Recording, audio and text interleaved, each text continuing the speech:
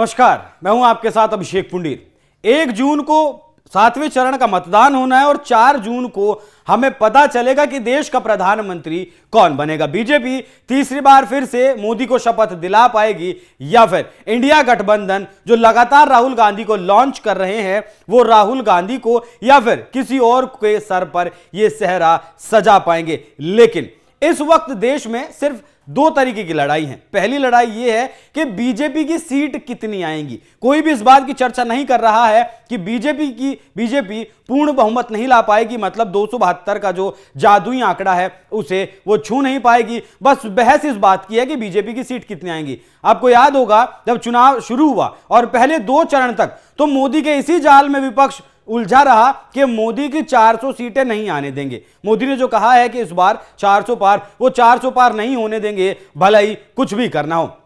हालाँकि 400 पार का नारा मोदी ने क्यों दिया था, वो उन्होंने इंडिया टीवी के इंटरव्यू में खुद बताया कि विपक्ष इस नारे में ही उलझ कर रह गया उनका जो काम था, वो कर गए। इस बात का अंदाज़ा आप इस बात से भी लगाइए कि चार जून आने में अभी वक्त है, शपथ ग्रहण में अभी वक्त है। लेकिन मोदी ने अपना आने वाला 125 दिन का प्लान तैयार कर दिया है। मतलब 4 जून को अगर मोदी प्रधानमंत्री बनते हैं तो 9 जून को वो शपथ लेंगे और उसके अगले 125 दिनों में मतलब चार महीनों में वो क्या कुछ करने वाले हैं। 25 दिन उन्होंने इस 125 दिन में अलग से युवाओं को दिए हैं। तो चलिए आपको बताते हैं कि मोदी का रोड मैप क्या है। जरा दिखाइए एक बार।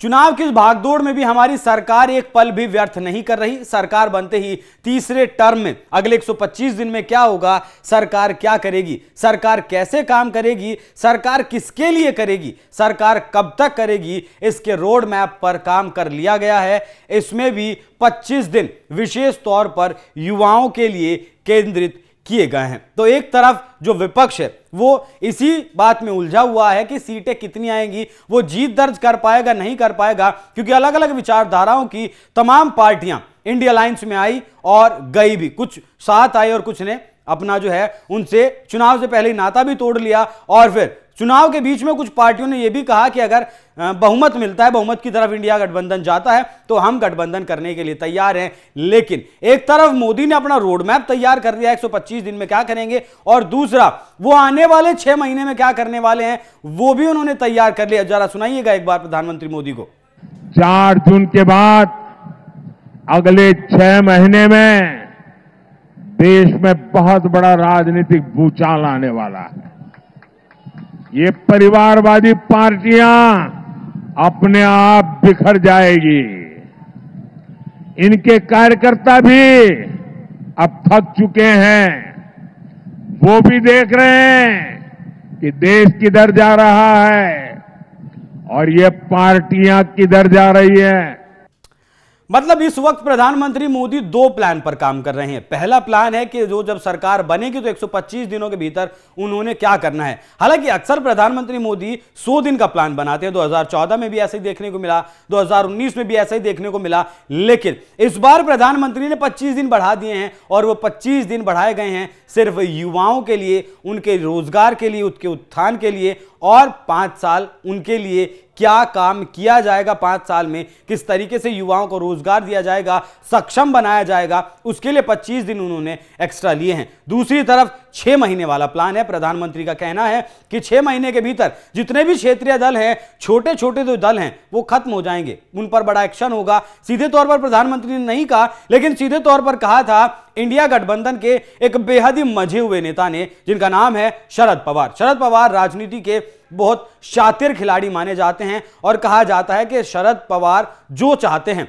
राजनीति में वैसा हो जाता है। हालाँकि वो बात अलग है कि एनसीपी जिस वक्त टूटी तो उसका उन्हें इल्म नहीं हुआ। लेकिन शरद पवार का कहना है कि 2024 के चुनाव के जब रिज़ल्ट आ जाएँगे और सरकार बन जाएगी, उसके बाद क्षेत्रीय दलों को अगर अपना अस्तित्व तलाशना है तो उन्हें कांग्रेस के साथ अलायंस करना होगा। मतलब जो विपक्षी पार्टी हैं, जो फ़िलहाल मौजूदा दल इंडिया गठबंधन में है, उन्हें विलय करना होगा कांग्रेस पार्टी में। और एक मज़बूत विपक्ष बीजेपी के सामने खड़ा करना होगा, तभी जाकर वो बीजेपी को टक्कर दे पाएँगे, बीजेपी का सामना कर पाएँगे। वहीं इसका अगर आपको एक एग्ज़ाम्पल बताऊँ तो उत्तर प्रदेश में एक पार्टी है रालोद, जिसके मुखिया हैं जयंत चौधरी। चुनाव से ठीक पहले जयंत चौधरी ने बीजेपी का दामन थाम लिया। सुभाषपा एक पार्टी उत्तर प्रदेश में है, वो भी बीजेपी के साथ आ गई। उसने का तो खैर अलायंस हुआ है।